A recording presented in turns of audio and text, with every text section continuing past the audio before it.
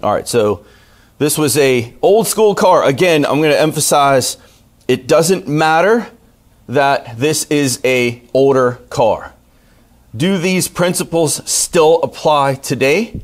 Absolutely. I said yesterday that Caleb and I have a case study on a 2021 Toyota pickup that we were uh, doing the same process we're talking about today and calling a bad engine computer. This engine computer on this Toyota is probably $2,000.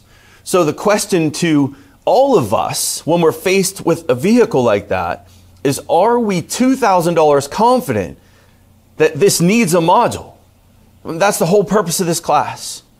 What should I check? Powers, grounds, references, 5 volt reference circuit, COM signals. Make sense? I want to build on this class. I really eventually want to take it from what we're doing now, powers, grounds, 5 volt ref. We did some CAN stuff yesterday, which I really was happy I got through.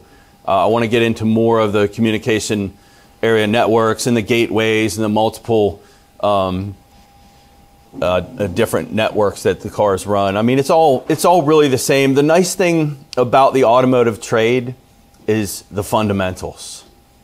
Learn your fundamentals, and then you can plug that into everything.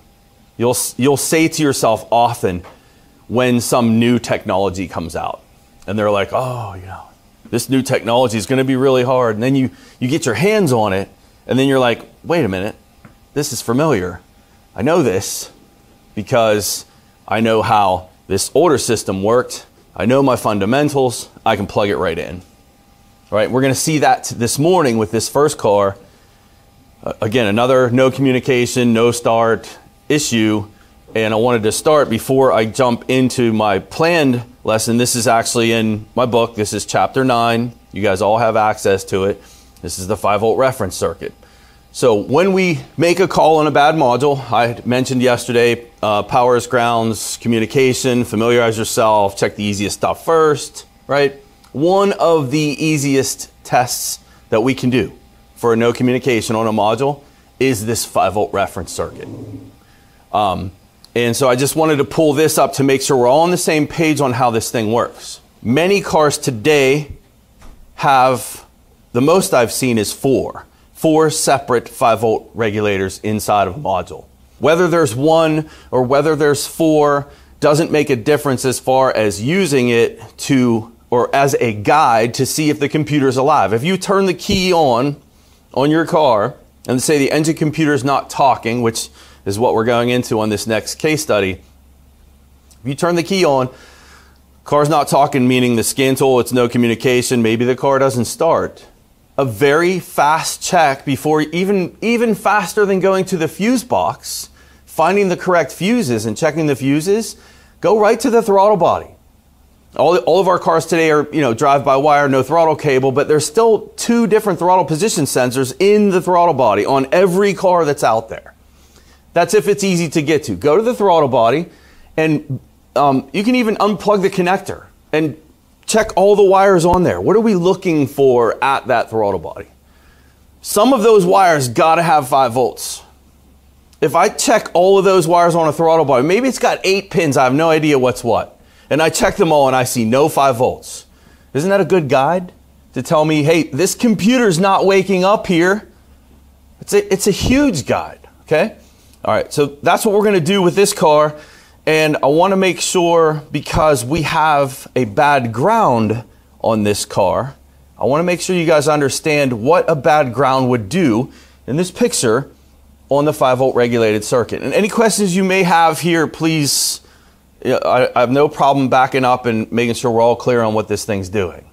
But inside of the computer, if you look at this picture, you can see we have a fuse. I just have a generic picture, right? There's a fuse right there that's going into my, into my engine computer and it supplies this 5 volt regulator. So how are we, what's a regulator do, say on a charging system? We're taking 14 volts. How are we making 14 volts? It's, it's pulsing on and off, right? That, that alternator is capable of 20 volts, but we're going to pulse that on and off and maintain a 14 volt level. What happens when you turn your headlights on?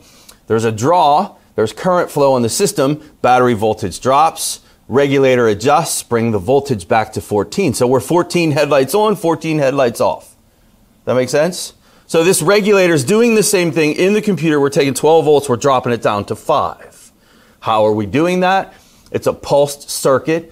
We need, listen to me carefully, we need a ground to do that. Does that make sense? What happens if this regulator here loses that ground?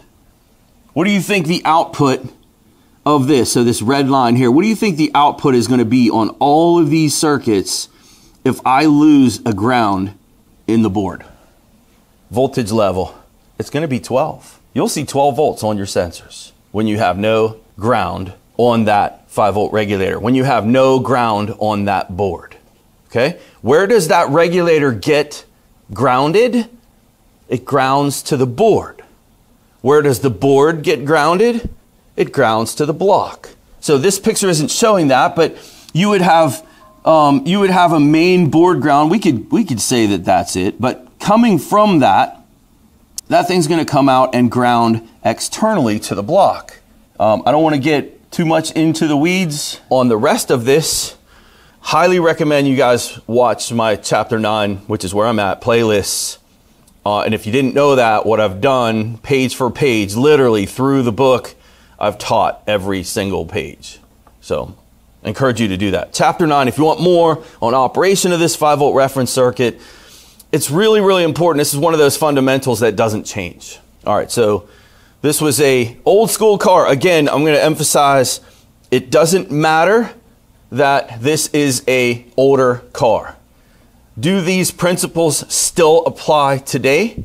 Absolutely. I said yesterday that Caleb and I have a case study on a 2021 Toyota pickup that we were uh, doing the same process we're talking about today and calling a bad engine computer. This engine computer on this Toyota is probably $2,000. So the question to all of us when we're faced with a vehicle like that is are we $2,000 confident that this needs a module? That's the whole purpose of this class. What should I check? Powers, grounds, references, 5 volt reference circuit, COM signals. Make sense? So what we're covering on this old school Ford Taurus, which is what this car is, is the same thing that Caleb and I walked through on that 2021 Toyota.